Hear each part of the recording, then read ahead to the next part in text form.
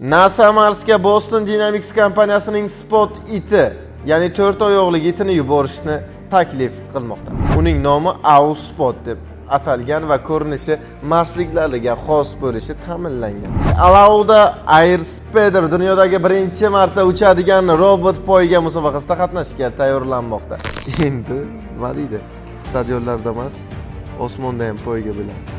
Rostek sotnik uskunalar ya'ni to'rtinchi avlod sotnik uskunalarni yaratishni boshladi. Aqlli aravachalar endi xaridni juda ham nima deydi katta o'zgarishlarga olib kelishi mumkin. Biz magazinga kirganimizda bizga xaridor ya'ni sotuvchi kerak emas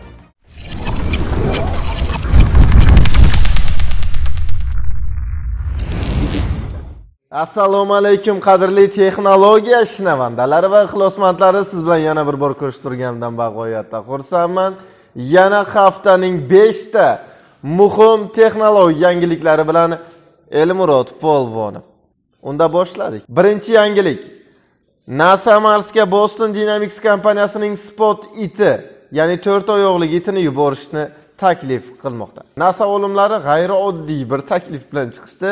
Ular boston dynamics kompaniyasining sport robotlarini marsga uchirishni ya'ni taklif qilib chiqishmoqda.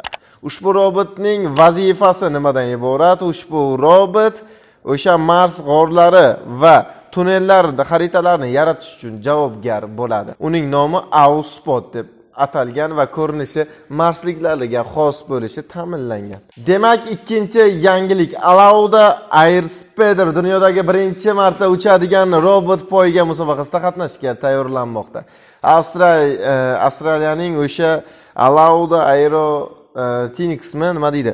Alauda aeronautics deb nomlangan bir kompaniyasi uch yil vaqt oldin o'sha poyga elektromobilni yaratishni o'z oldiga maqsad qilgandi va natijasiga erishdi uning ilk modellari taqdim etildi ajoyib endi nima deydi?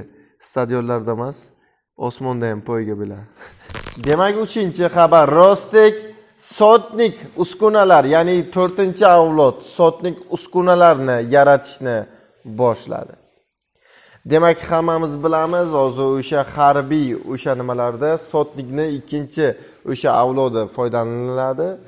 Ya'ni endi u takomillashtirilgan holatda to'rtinchi avlodini ishlab chiqarishga kirishdi. Demak sotnikning to'rtinchi avlodida biz o'sha zirhli kiyimlarning takomillashgani undan tashqari turli xil ellikdan ortiq ya'ni ellik xil turdagi bir o'sha harbiy misol uchun harbiy tomondan muhim bo'lgan bir elementlar chambarchasligini ko'rishimiz mumkin.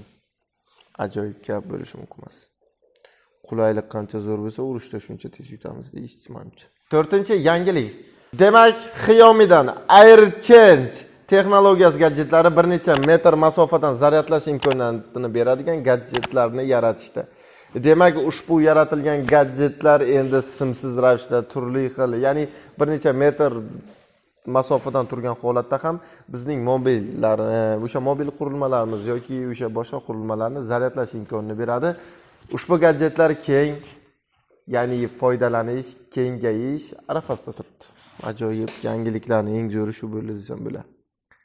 Powerbankdan ham mukammal ishlab chiqarilgan demak beshinchi yangilik aqlli aravachalar endi xaridni juda ham nima deydi katta o'zgarishlarga olib kelishi mumkin. Demak ikki ming yigirmanchi yil hammamiz biladigan o'sha koronavirus sotuvchi va xaridor o'rtasidagi munosabatga ham judayam bir ta'sir qildi. Hamma uyda qolib ketdi. Demak o'sha biz boya aytib o'tgan o'sha kuryerlaru deymiz misol uchun yangiliklarga e'tibor berayotgan bo'lsangiz juda ham ommalashib ketdi. Endi biz magazinga kirganimizda bizga xaridor ya'ni sotuvchi kerak emas.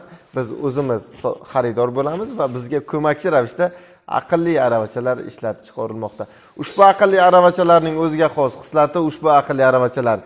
Ya'ni siz aqlli aravachalarga nima kerakligini aytsangiz u o'sha yo'lni o'sha mobil yo'lni belgilaydi va qayerda tovar joylashganini ko'rsatadi. Yana bitta tomoni ayrim kishilar uchun bir yomon bo'lishi mumkin. Ushbu aravachalar dori mahsulotlari va spirtli ichimliklarni xarid qilmas ekan. Shu bilan haftaning beshta texnologik yangiliklari bilan polvonov elmurod bo'ldi yurtimizda texnologiyani birga rivojlantiramiz. Xayr salomat bo'ling aziz do'stlar. O'ylaymanki ushbu texnologiya yangiliklar sizga juda ham manzur bo'ldi. Agar shunaqa bo'lsa men bundan juda ham xursandman.